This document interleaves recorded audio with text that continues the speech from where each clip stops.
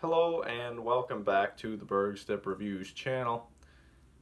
Today, Silver Dollar Scotch Snuff. And before we go any further, let's get a look at the can.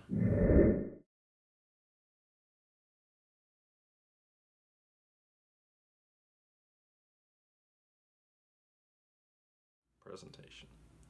So I'm going to remove the price sticker once again uh, so that we can take a better look. Uh, silver dollar logo in the center, Scotch snuff on the top. Um, kind of an orange, leaning darker color. Doesn't really look like that on camera. On the back, um, yeah, it looks a little bit different again. This time there is silverdollarsnuff.com running across the top. Scotch nasal snuff, silver dollar, item number, barcode, 5 grams, 1 fifth of an ounce, made in the United Kingdom, imported by Kretek International, Moorpark, California, and the warning label. Uh, again, it looks like we have got some snuff uh, in the plastic wrap.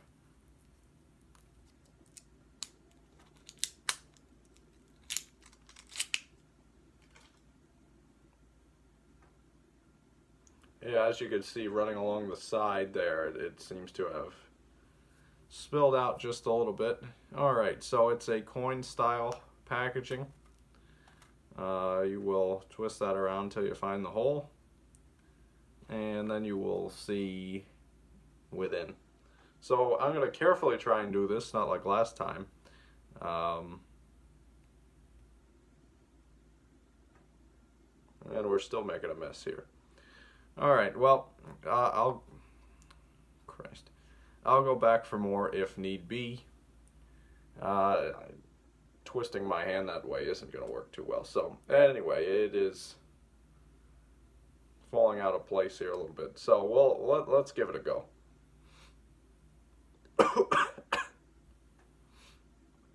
okay. Um, yeah.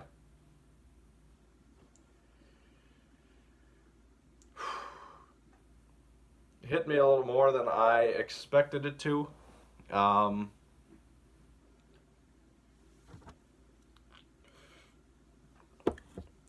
there's a little left here on my desk, which I'll just... So it is very reminiscent of... Well, I, I should... I keep referencing this. I'm guessing this is going to smell the same. I have never actually had Railroad Mills plain. Um, but, you know, American scotches run about the same, whether it's Square or Ralph's or whatever. Um, they have the the whole basic similar thing going on. Um, it it has got the charcoal thing going on that I referenced before. Um, it it didn't visually look to be that fine, but it went up with ease. So I'm thinking there's a chance this is actually a little bit on the drier side. Um, it had quite an effect on the left eye for whatever. I suppose that most of it went up the left there. Uh, it, yeah, it, it seemed pretty pretty strong, uh, pretty strong nicotine wise and flavor wise really. It um, producing a drip which I find unpleasant. Um, but I understand that's just part of the game really. So it was 4.29 uh, in store. You could probably get it cheaper online. Uh, I was just shopping around and surprisingly saw these, so I thought, why not?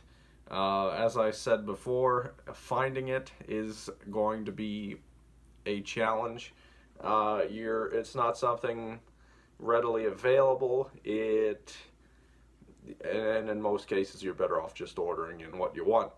Um, keep in mind that will be shipped from Britain, so you may want to make it worth your while. Uh, it's it, it's very reminiscent of an American Scotch. It's probably still easier to take than an American Scotch. but they they hit the flavor pretty much dead on. I would say. Um, would I prefer it? I would actually prefer. I would actually so far out of these naturals, I would probably prefer this one. Um, it's just that I have had experience with this flavor enough to know that I don't necessarily care for it. um, but for those of you that do like them, you know, you can get something that is in a manageable container, five grams, one fifth of an ounce instead of 1.15 ounces.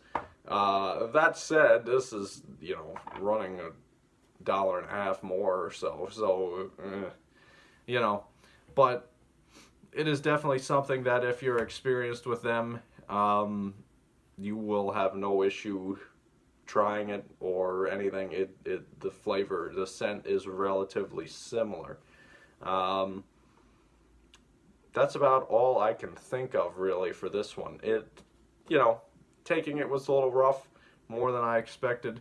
Um, the drip is a bit annoying, but overall it is, you know, very similar to the American variety. So, uh, shoutouts will be Suit and Tie Dip and Chew Guy, Winington Outdoors, Dirty Pat Walsh, Wayside Lee 83, No Bluff Buff, Snusfreak, and Smokeless Ryan 4K. Rating out of 10 on Silver Dollar Scotch, I'd probably give this maybe a 6. It, it, it's, it's not a flavor I go out of my way for. Well, I kind of do because I want to review all this stuff, but you get what I'm saying. It, it's something I could take or leave, and with all of what I've got sitting around, yeah, um, uh, it's something that's going to sit for a long time probably. So, you know, it's all right if that's what you're into. They did an all right job on it, but it's not really what I look for. So, uh, that's about it for this one. If you enjoyed, leave a like, leave a comment, subscribe if you haven't already. I'll see you next time. Take care.